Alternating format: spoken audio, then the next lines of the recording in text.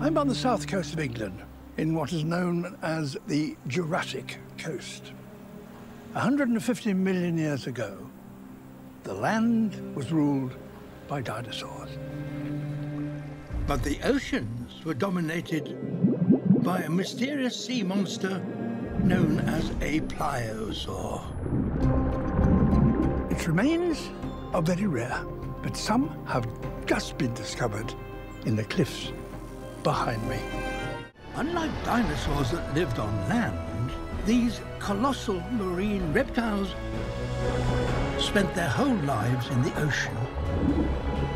They're thought to have been around 10 meters in length, similar to a double-decker bus.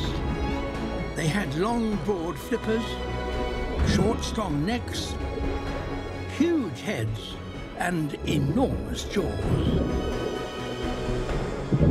But there's still a lot we don't know about these great sea monsters, which is why this new discovery is so important.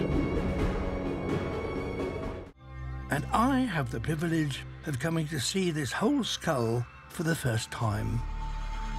So here it is, and it's enormous. I am meeting Dr. Judyth Sassoon, a paleontologist who has studied pliosaur specimens for decades. Does it still take your breath away as it takes mine? It is a most astonishing specimen, David. I'm, I'm very pleased to be part of, of the work on it.